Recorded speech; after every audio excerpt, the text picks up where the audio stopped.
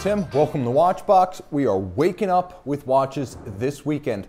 As ever, everything you see here on the table is for sale. Names, references, and where available, prices are in the description below. And some of these watches are not on our website. You're going to want to email me, tmosso at thewatchbox.com, if you have questions about those or prices, accessories, condition, extra photos regarding any of the watches you see here. tmosso at thewatchbox.com. Okay, let's get started with a watch that frankly is just beyond belief because it's so artistically dense that it almost overwhelms the senses. Launched back in 2016, this is the Audemars Piguet Royal Oak Openworked. Now, the timepiece, which perhaps properly would be described as open wrought, is known as the reference 15407, 41 millimeters in rose gold. The caliber uses a 3134 profile, which includes full freehand skeletonization of the components. Caliber 3134 is an evolved double balance, as this is the open-worked double balance, properly speaking. It has an upper bridge with a free-sprung balance, and then on the opposite side, when you reverse the watch, and by the way, it is an automatic caliber, there is another free-sprung balance. Let me see if I can show it to effect here.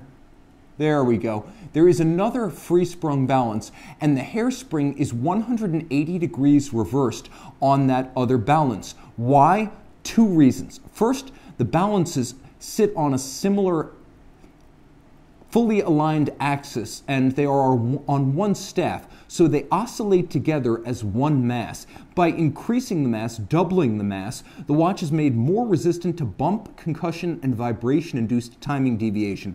By moving the hairsprings 180 degrees out of alignment, you create an off-centered mass on both sides such that each one cancels the other. When one is up in a position to run faster with respect to gravity. The other one will run more slowly, canceling out the deviation caused by position and gravity. Throw the watch on the wrist. It is a robust piece fully loomed automatic winding with a screw down crown and 50 meters water resistant. I have to say that the watch is actually fairly easy to read in person as the nickel anthracite coating over the movement itself allows the rose gold hands to pop quite easily. It's simple to see easy to read, handsome to behold, and beguiling on both sides. This is a watch that is still hand finished externally, bracelet, bezel, and case. Approximately 11 to nine hours as ever to hand finish the metal components, but it's the interior of this one. Whereas something like a caliber 3120 is, is basically hand assembled, but mechanically finished. This is hand assembled and hand finished. It is a much higher level of Audemars Piguet execution with innumerable interior angles and every edge broad, beautiful, polished, and gleaming. There is no machine anglage in this watch. Now, for some, a Royal Oak budget isn't in the cards, and for those, there are options. 40 millimeters in stainless steel and launched in 2019, this is the Bell & Ross BR05. Clearly, it owes a huge debt of gratitude to Gerald Genta on several levels. But this model with the black dial is one of three released. There's a blue and there's a gray, and the black dial is the most closely linked to Bell & Ross's prior design identity, specifically the instrument series. So the watch is very much Bell & Ross across its dial, and I would say a combination of Audemars Piguet and Patek Philippe across across its bezel and case. Now the case and the bracelet are made by GNF Chatelain of Loc, which is one of the best case, bracelet, and clasp makers in the business. And I have to say that the assembly quality as well as the execution of the beveling and the satin finish, though machine executed, is razor sharp, beautiful, and exacting, which is to say that this watch, which costs perhaps a tenth of even a basic Nautilus 5711 at this point, represents an outstanding functional substitute at 40 millimeters in diameter and 100 meters water resistance. You'll look on the back and you can see there is a iteration on the ETA 2892, which is a thin, fine automatic winding stop second, quick set date movement. You can see there's a lovely skeletonized winding mass. You'll also appreciate that no corners were cut in the construction of the bracelet. As you can see, despite the price point, all of the removable links are fixed by screws, and the watch includes half links for precise sizing. So no pin sleeves here, Patek Philippe. This one is actually built without compromise about its bracelet assembly. I also have to say that the fit on the wrist is flat, flush, and comfortable, as this one's narrower across the wrist than a Royal Oak 41 by far. The bracelet pulls down quite easily, and there's no virtual flare to add artificial diameter or span. I should also say that the tolerances between the links are outstanding. They're flush, they're flat, and it's not until you get to the underside where you see a calculated gapping of the links that's designed to avoid pinching skin, pulling hair, or trapping wrist heat. This is a really impressive execution from Bell & Ross. Simple, stylish, obviously an homage watch to other brands, but still functional, fun, and honest. That said, if you have perhaps 20 times the budget and you want the original integrated bracelet sports watch, there is always a Royal Oak or a Nautilus, in this case, the 5727, or excuse me, 5726 annual calendar. The 5726 annual calendar, as you see right here, debuted back in 2012 with the silver dial. It's silver opaline white with the lateral strakes and blackened white gold hands and indices, which make this one far easier to read than the standard gray dial model, or for that matter, the successor with the blue dial. The watch is 40.5 millimeters, and I have to say it wears fairly easily, though compared to a 5711, it feels almost like a Royal Oak offshore compared to a standard Royal Oak jumbo. On the wrist, it's burly it's substantial. It's got an imposing stance and it looks more like a 42 or a 43. The timepiece is still 120 meters water resistant in spite of the through case fittings for the annual calendar. And I should mention that this is sort of an ultimate Patek Philippe as it combines two features intricately and intimately entwined with the brand's legacy. Of course, in 1976, Gerald Genta, following up his own Royal Oak four years later, designed the Nautilus for Patek Philippe. And in 1996, exactly 20 years later, Patek Patek launched the annual calendar, the first ever complication in that class. The annual calendar need be corrected only once a year during the jump from February to March. When you turn it over, you can see it's a handsome and contemporary caliber 324 base six position adjusted, free sprung, gyromax balance, silicon hairspring, all of that refinement, giving you a watch that includes not only the annual calendar complication, but the ability to run to no worse than minus three plus two seconds a day. It is handsomely hand finished. You can see the linear Cote de Genève across the bridges, circular Cote de Genève on the rotor. There's a macro perlage or engine turning on the base plate, and my favorite detail, a mini spiral perlage on the center of the rotor. Though you can't see it, the screw heads are black polished with chamfered slots and circumference, and the edge of every bridge is mirror beveled. A truly special watch. Remember, fully loomed automatic, all steel, full bracelet, and 120 meters. This is a real sports watch. That said, it's not my favorite stainless steel Patek Philippe. We're getting closer to that one. This is a model that was launched back in 2014, and it represented a little bit of a break with the past of the 5960 model, which had launched in 2006 as a dress watch complication. Well, the 5961A was a sports watch, full stainless steel, 40.5 millimeters, larger hands, more lume, and a full integrated bracelet with a five link design. The individual small links with big gaps between vent the wrist beautifully. And if you are going to wear your watch on a hot day during activities when you're going to sweat in weather, you're going to want a full bracelet as you're going to save yourself that three to four hundred dollar strap investment every two years or so. It also gives the watch an all of a piece sporting demeanor as the bracelet is identified with the sports watch. So too is the complication, a chronograph, the king of complications. And this one is a flyback chronograph that you can reset and restart without stopping by pushing the trigger down at four o'clock. Note there's a mono counter down at the bottom with hours and minutes on one scale superimposed to maintain the symmetry and avoid crowding of the dial. There's also a small blue dot at the bottom that lets you know it is the nighttime. It is the time when you will not use the adjusters to adjust the annual calendar. And that's another important point. This is another annual calendar. Adjustment once a year, otherwise it can deal with the irregular length months, whereas a standard complete calendar needs to be adjusted five times a year. We have blackened indices and hands, again in white gold, and if you look very carefully, there is a power reserve indicator up at 12 o'clock on the dial. The watch has an up to 55 hour automatic winding power reserve, and the flyback chronograph is a caliber CH28520. Let me try to flip it so you can see the balance there. This is a movement that features a vertical clutch and a column wheel. The vertical clutch for smooth engagement, and if you choose, continuous hazard free running of the chronograph, and the column wheel for crisp actuation. Now, again, you've got the silicone hairspring and the free sprung Gyromax style balance, and in general, more impressive finishing than on the 324 because with the levers and mechanism of the chronograph, there's more to see and it's more elaborately and intricately finished. Throw the watch on the wrist, very comfortable. It's fairly broad, but you can see the lugs curve down and around the wrist, and the watch sits relatively flush and under 14 millimeters thick with a sloped flank. It does slide underneath the cuff. I find that of the two versions available, the silver model is perhaps the more formal of the two and offering the higher contrast at a glance. That said, the one year only 2017 launch 010, the 5960 slash 1A010 is my favorite. Of the two, give me this one. Of all the stainless steel Patek Philippe's, give me this one. Still 40.5 millimeters, but now with a matte black dial and polished white gold indices and hands, this is a spectacular sports watch. Though not an aquatic sports watch at 30 meters, it has every other feature you just saw on its silver dial brother, but the fact that it was launched in 2017 and discontinued after about eight months of production means this is a complicated, full bracelet, stainless steel Patek Philippe one year model with a black dial. Does it get any better than that? Well, no. As far as steel Patek's concerned, that's the one I'd want. Are there more valuable examples? Sure. Are there more complicated examples? Maybe at only watch. But if I were to buy myself a steel Patek, it would be that. Full stop, no second guessing. All right, let's talk a little bit about high horology and a watch that's making a second appearance this week because, frankly, it's a goddamn green tourbillon and I cannot get over it.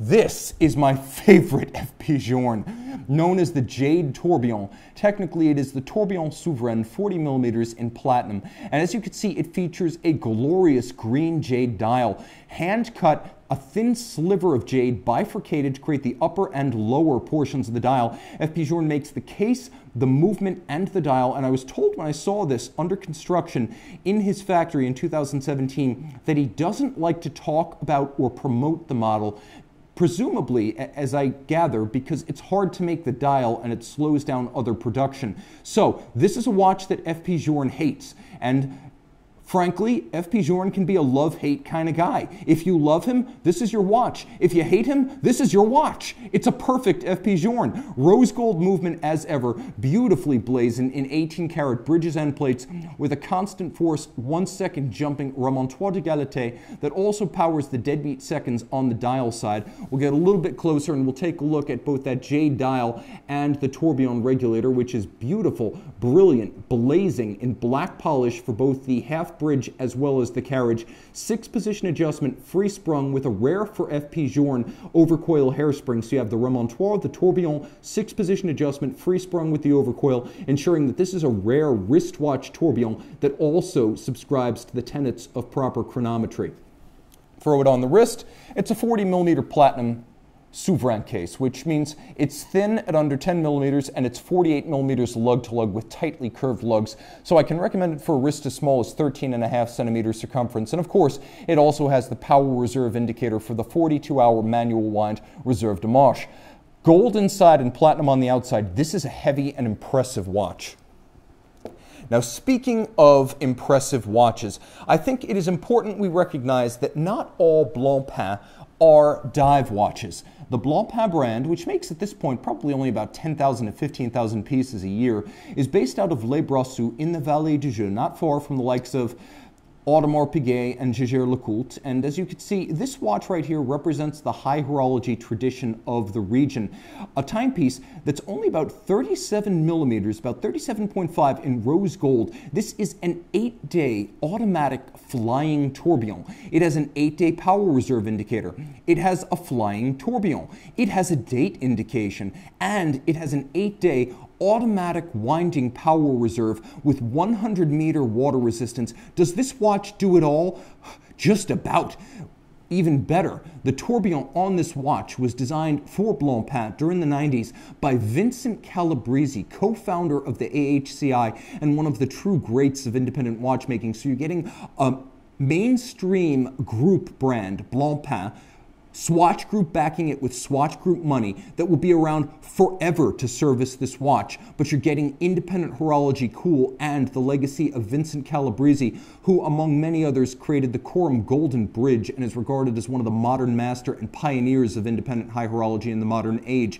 This is like getting an independent brand watch with high horology features and extravagant finish, but with the backing of a major group to ensure it can always be serviced and parts will always be available. Note the freehand skeletonized and engraved rotor for this caliber 25 with its 8-day power reserve. Note the underside of the movement with all engine turning on its bridges and plates, mirrored anglage with black polished screws, finely hand finished on both sides. What I appreciate about the tourbillon is not just that it has no upper pivot, which is what makes it a flying tourbillon, so you can see it in its entirety, but the actual carriage itself, and you can really see it here, is black polished to a mirror shine as good as it gets in rose gold, this watch has a discreet wrist presence.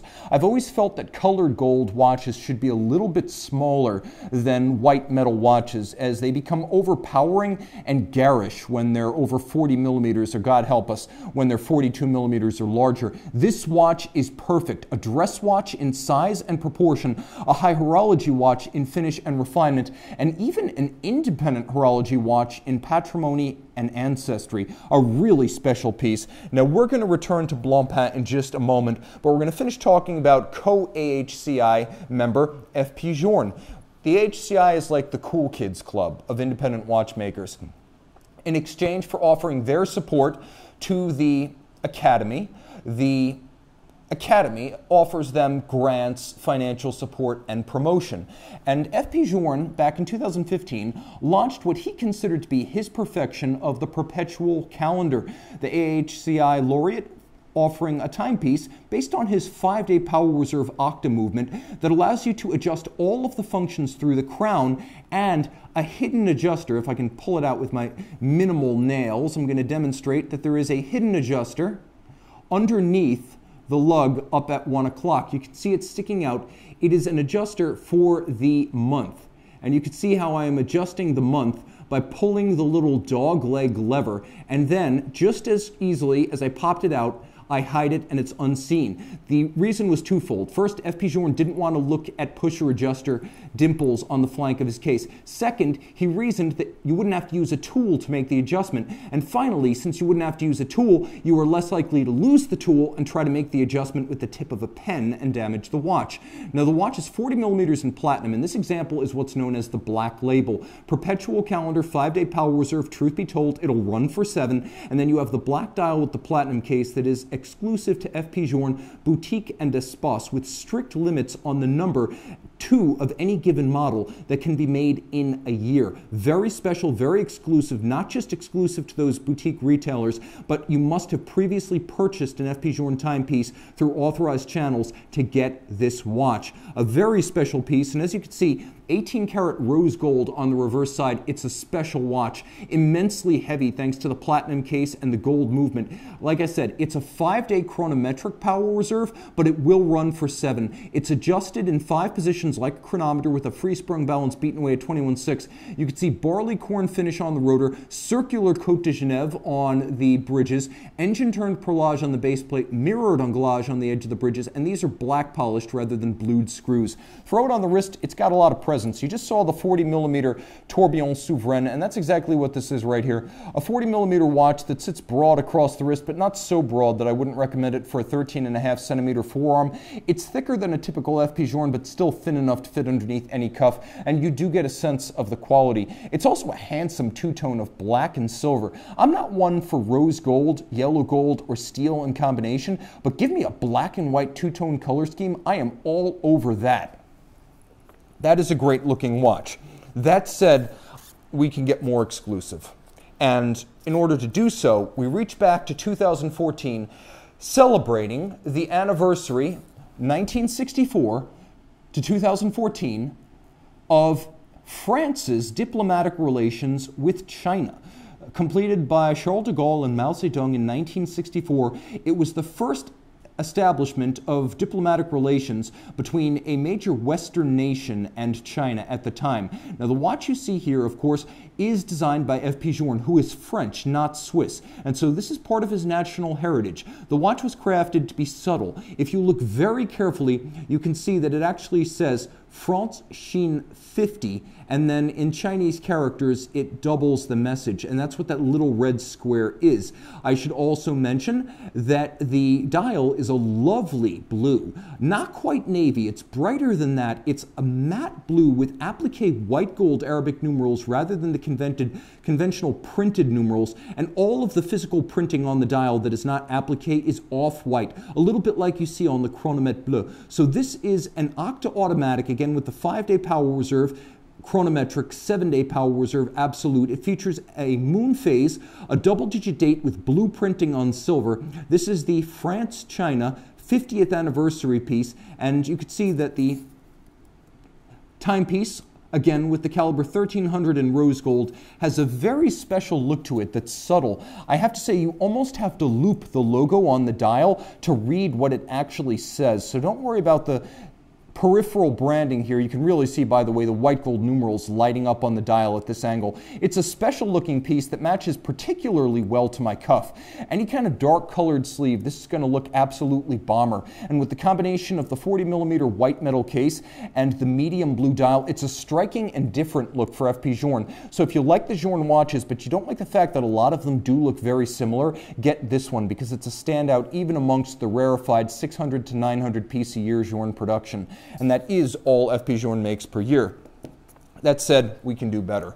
If you want a 38 piece limited edition made for one year only in stainless steel, recall the five pieces built in 2015 to say goodbye to the original 38mm FP Journe case size. This might have been the most charismatic. The original balanced Resonance 1 dial with a few refinements. First, the case, yes, it's the discontinued 38, but it's in stainless steel. Second, yes, this is the Resonance 1 and Resonance 2 dial, much loved, but look closely, the butts keep coming and you could see that all of the printing on the dial is in navy blue, not the usual black. A very special watch with a movement to match. You could see, and I'm going to turn it upside down here, Caliber 1499 in 18 karat rose gold is all about the two beating balances. The watch is a true dual time, and you can set the two different time zones two different times, or you can sync them up. There's a power reserve for the 40 to 42 hour manual one, reserve de marche, but it is two movements split down the center in one case. The balances are designed to resonate, which is to say, by means of their proximity and artisanal tuning, they will synchronize to each other after about 7 to 10 minutes, meaning if one, because of position or shock, runs fast or slow, the other will regulate it, slow it down, or speed it up as necessary. And there are two barrels under the barrel bridge, two separate drivetrains, two separate Swiss lever escapements. This watch against the ear sounds like absolutely nothing else in watchmaking. You can see there's a small black polished rack and pinion assembly that you can use if you are the FP Journe watchmaker to vary the distance between the two balances and escapements. And it uses the same resonance principle established by clockmaker Antide Janvier with pendulum clocks and metronomes. You can do the same thing with escapements and balances if you are FP Journe. Now, of course, because it takes 7 to 10 minutes for the two balances to synchronize, even if you have the dials set to the same time, the seconds hands will not be synchronized. So there's a flyback mechanism, like a flyback chronograph, that you pull down at 4 o'clock to synchronize them, and now everything is simpatico throw it on the wrist. I should mention this watch has one more refinement you won't typically find on a Journe. Not just a deployant clasp, which is an optional feature on a Journe watch, but a full steel deployant clasp at that to match the case. On the wrist, it's impressive. It doesn't need size to make a statement. This is a watch for a connoisseur, a traditionalist, a guy who has every Journe watch and perhaps needs one of the five to complete his set. Again, only 38 examples of each of the steel 38 send-off models were made in 2015. To collect the set, along with, for example, collecting the three Vagabondage or the five Ruthenium watches, considered to be one of the great achievements in FP Journe connoisseurship. Few will realize that dream, but to own just one is more than enough satisfaction for most, yours, yours truly included, as I happen to love the resonance because it's an absolutely unique concept, never done in a wristwatch before FP Journe. He can absolutely claim that this was a world premiere, derivative of nothing except clocks. Now, let's say you want a Blancpain dive watch, but you think the standard 5015 is just too large. Well, for those, there is the bathyscaphe. And the bathyscaphe, I should mention, 43 millimeters is also a stripped down 50 fathoms. Mechanically identical to the 5015, the reference 5000 features a no-guard big crown profile designed to evoke the 1950s. It features a minimally beveled squared-off lug profile and a thin mid-case. This is very different from the bright polish separate structural lugs of the 5015, which has those sharp breaks where the lugs emerge from the case and polished flanks. It's also thinner the timepiece, still 300 meters water resistant, features a gray sunburst dial, and as you can see, it features instead of the sapphire capped bezel of the 5015, a ceramic capped bezel in steel. Let's throw it up against the mic and have a listen to the ratchet action. It's sharp, it's crisp, it's precise. 120 clicks, so you're going to be able to place it precisely. Caliber 1315, six position adjustment, not the high horology standard of five. It's free sprung, three barrels, five day power reserve, automatic winding, stop seconds, quick set date, and because of the free sprung architecture, it's shock resistant. Because it's fairly thick, it's not as susceptible to shocks as a thin movement would be. And because it has a silicon hairspring, it's anti-magnetic. It's also handsomely finished. As you can see, there's an unusual brushed satin finish across the bridges rather than the conventional Cote de Genève.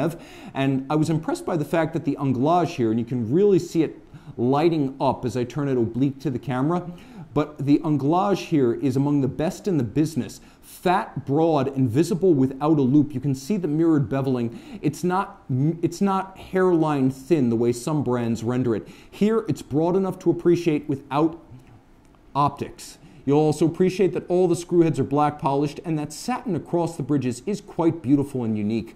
Throw it on the wrist, easy to wear, sailcloth strap with rubber on the underside so it's very supple on the wrist. Because it is narrow across the wrist, I can recommend it for a wrist as small as 14 centimeters circumference. It's a timepiece of exceptional quality, impressive presence, and unrivaled finish inside and out. Remember, same movement as the standard 50 fathoms and the same 300 meter diving depth. We're going to come back to our divers in just a moment. I want to talk about a watch that featured on the program earlier in the week, but because it's a chiming watch and I didn't allow it to sound off, I feel almost as though I've cheated you. So we're back with the A. Lange & Sohne Zeitwerk striking time, a 44.2 millimeter white gold digital jumping time display with power reserve that strikes on the quarters and the hours. Launched in 2011, let's watch the jump and then hear the chime.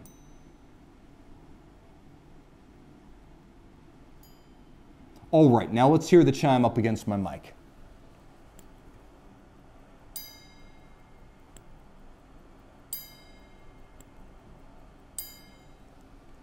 The chime does vary a little bit depending on whether it's a quarter or an hour being sounded. Now the timepiece has an incredible variation on the caliber L043. As you can see, German silver bridges and plates. It's the nickel copper zinc alloy with the copper giving it that golden hue. As you can see, there's a black polished Maltese cross on top of the barrel to stop the mechanism when it no longer has the energy to jump the minutes. It has a constant force device that transfers by a separate locking lever with Paul jewels to a double third wheel with a hairspring in between. That's the Remontoir d'égalité constant force device. And every minute, a burst of energy is transmitted to that hairspring, and that's what powers the balance. The tension in that hairspring. The barrel never directly drives the balance because if it did, the energy of this immense spring would overdrive the escapement and break it. The power needed to keep jumping these mechanisms for 36 hours of power reserve, simply too much for the Swiss lever to accomplish accommodate. So you have that constant force device to maintain constant amplitude and excellent timekeeping, but also to protect the escapement. Now, one side of the mainspring is actually anchored to the movement. It's not entirely contained in the barrel. So powerful is that spring that one half of it is anchored to the movement plate itself. This is an extraordinary hand-finished watch with freehand engraving, mirrored anglage Glashütte stripes, handsome satination on all of the wheels and the train with black polish abundant and featuring both black polished screws and fired blue. Throw it on the wrist real quick, a very special piece. It's got more wrist presence than a standard 42 millimeter Zeitwerk and that's no bad thing. If you've got the larger wrist, this is going to be the one for you. I know a football player who's about 6'5", 320 pounds who wears this exact watch.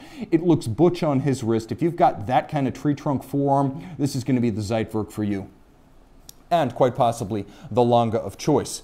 Now, we talked about Patek watches in stainless steel, but let's talk about Patek in a precious metal. I'm not into rose gold or yellow gold, and I think when you start getting larger, closing in on 40 millimeters, white metals play better, and that's certainly the case with the 2017 release Patek Philippe Calatrava 6006G. It is in the tradition of 1993's micro rotor off-center seconds caliber 5000. That became a larger 37 millimeter watch. In 2005, it gained a new dial in 2008, and the 37 millimeter watch became the 6006 with a 39 millimeter case in 2017. And the watch that you see right here is the successor to that 37 millimeter 6000, but it maintains the best features, including the wonderful piano key style center hours and minutes track, the outboard radial indication of the date, and the off-centered seconds. The lug profile is strong, almost like a sports watch. You could see this is anything but a typically meek Calatrava integrated lug set, as they're strong, narrow, angular, and squared off in a way that a typical Calatrava would not be. This is less the legacy of the reference 96 of 1932 than it is the reference 5000 of 1993. And when you turn it all over, you get the latest version of the Caliber 240 micro rotor, which does three things. One, it gives you the convenience of automatic winding. Two, it gives you the open display caseback vista of a manual wind. And three, it gives you the thin case profile of a manual wind watch. Very special. A watch that wears beautifully on the wrist, comfortably, and yet with a strong presence due to the lugs. This watch has often been described as an automotive inspired timepiece in all but name. It's often cross compared to the gauges of vintage 1950s Jaguars, Mercedes Benz, and Porsche sports cars, and I don't disagree with any of the comparisons. Often described as the Patek Roadster unofficially, it is a timepiece that people love or hate. I'm not going to varnish it. If you love the automotive associations, if you love the unusual display of date, the off center seconds, and the unconventional use of a micro rotor automatic in a Calatrava, this watch is for you. Full deployment clasp and matching matching white gold, it has a very special wrist presence that's broad and stern. And yes, I use that in jest, that term. A little bit of a double entendre. As you can see, this rather stern profile also has a broad stance, so though it's not huge across the wrist, it has outsized personality. It has a strong machine ethic about it, though nothing like this next watch. In the world of machine ethics, this is the watch that sets the mark. This timepiece looks like a Terminator from the future. This is the last thing John Connor will ever see. The timepiece, launched in 2000. 18 was a wonderful take on the H1 that launched back in 2011 for HYT, a hydromechanical time display. This is the H0 that takes the same caliber 101 developed in conjunction with Chronode and HYT's subsidiary Preciflex. It uses two immiscible liquids. One is blue, one is clear, and they fit inside these little bellows, which, as you can see through the case back, are actually quite voluminous and driven by cams that will pump the liquid in either direction. It has a 65 hour manual wind power reserve inside this lugless 48.8 millimeter steel case, and those cams pump the liquid back and forth.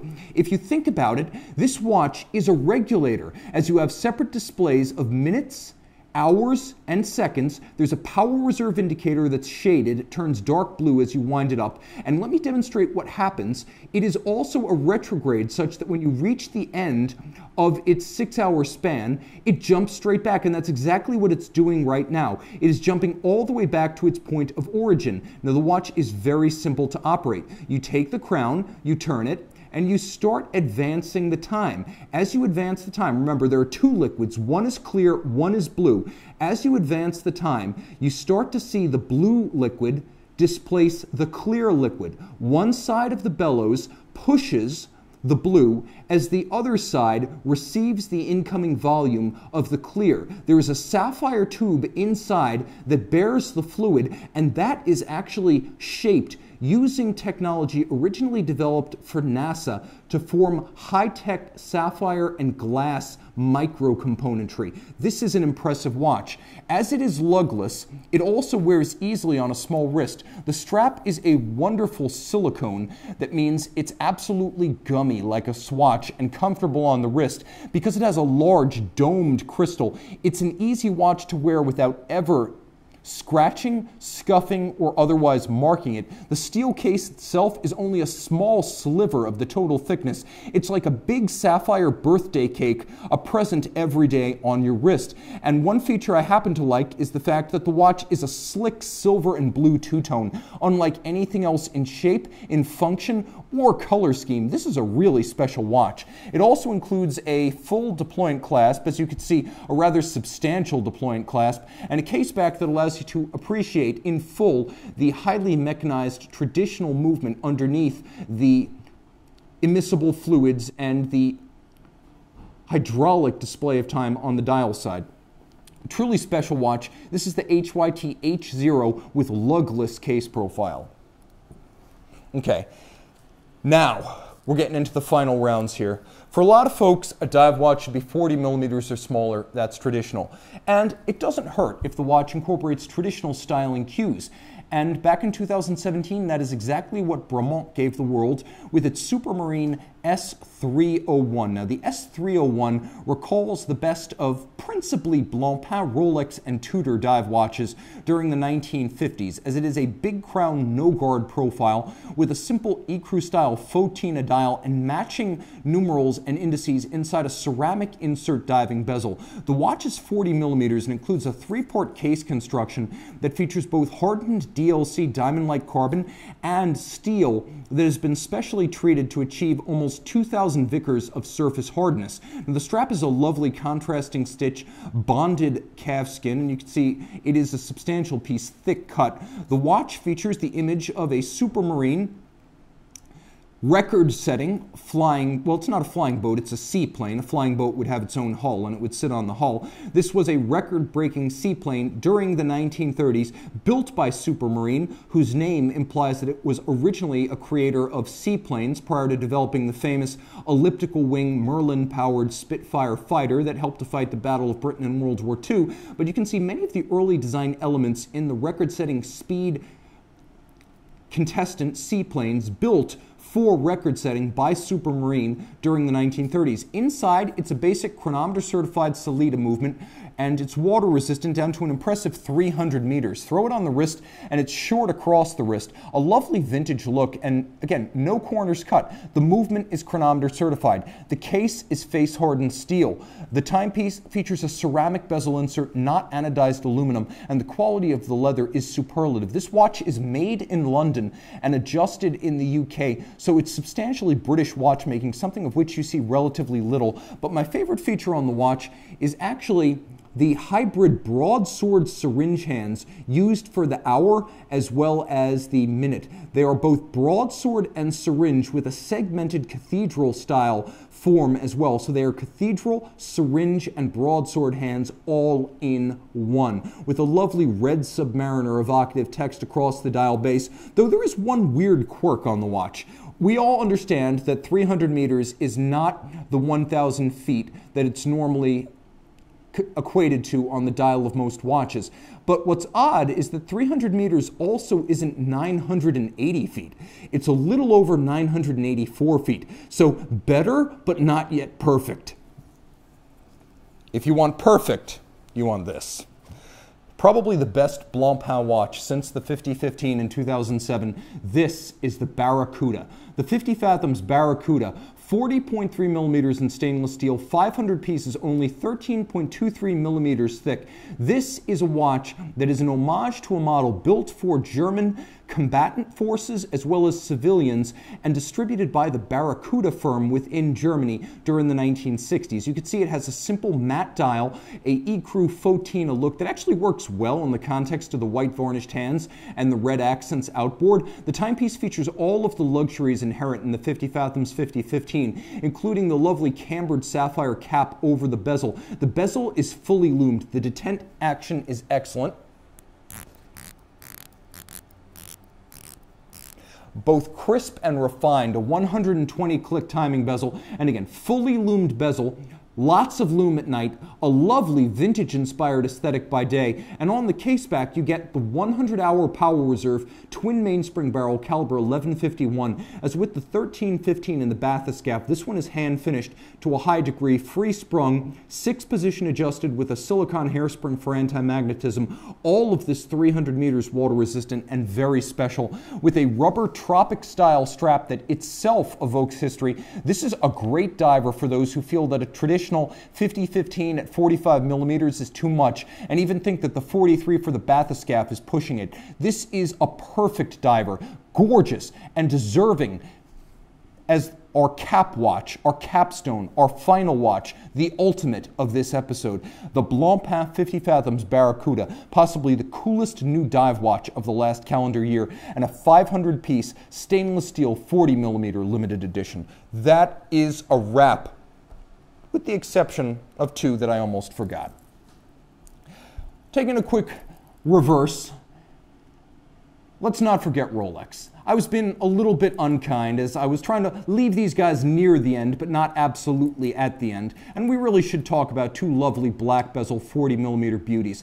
We've got the Rolex GMT, discontinued a year ago with the black bezel and the 31 86 movement. This is a watch that features the lovely green GMT hand and green GMT script. Ceramic bezel insert, bidirectional 24 hour with platinum deposits that create the indices and the numerals. So you have a bezel that is a steel base, a Cerachrom insert all in black, no two-tone, no double color, and of course you've got the platinum deposits for the numerals. The dial with white gold hands as well as a black glossy lacquer base and in a case that's 100 meters water resistant, you do get a chronometer certification and you do get 100 meter water resistance. So while this is generally regarded as an aviator's timepiece, this is also the subdued discreet version of the GMT Master 2. The all black bezel no longer available is a bit of a collector's piece. If you want a watch that has that classical steel and black Rolex rotating bezel look, but you don't want another Submariner, this is a great way to go. A truly special piece, and again, a bit of a cult watch,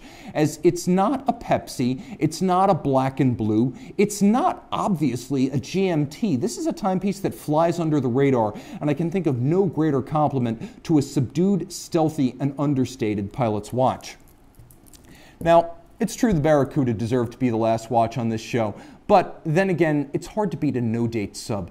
This is the Rolex. If you were to save one from a fire in Geneva to be the basis for the entire future of the company, it would be the one most deeply rooted in company past, and that is the no date sub. You can trace it back to the 6204s, 6205s, and 6200s of 1953 and 1954, the earliest rotating bezel Rolex dive watches, and this timepiece, 300 meters water resistant, part of a series launched in 2012, is the heir to those original Submariners. There is no such thing as a Submariner no date. There are submariners and submariner dates. This is the former. A watch, technically 114060.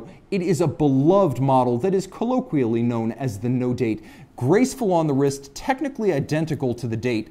The 116610. The watch has an imposing stance, and it doesn't matter how big your wrist is. Our own Jason Main, who's a regular lumberjack with a wrist to match, wears the no date. 40 millimeters in steel, it's all you need. It does have the wrist presence of a 42, no doubt, and accurate as a chronometer, you're not giving up anything in terms of precision, nor are you giving up anything in terms of refinement, as you have the same glide lock clasp that you find on the Submariner date. 20 millimeters of incremental adjustment in 2 millimeter increments, and you can see that those two millimeter increments allow you to adjust to 10 different spots. So pull it out all the way over a dive suit or make sizing adjustments as necessary for hot, cold activity or inactivity. It can also be used for sizing. So it is a very versatile mechanism. 20 millimeters of all out adjustment. A very special watch and a handsome one. I've got to say that if I'm going to flub the ending of a show and accidentally go out on the Barakuda, the bounce back and the recovery with the no date sub ain't half bad. If you are a traditionalist and a dyed in the wool dive watch connoisseur, if you want the ultimate in modern divers with respect for tradition, high horology finish, and a nod towards the future, endless continuity, and styling that defies planned obsolescence, pick one of these two beauties. You won't regret it. Thanks so much. I got Andrew on the camera. I got Harrison on the switcher today. I always appreciate the work of my crew. And thanks to you, I have the best job in the world. Stay well, be well, time out, Tim out, and thanks for logging on.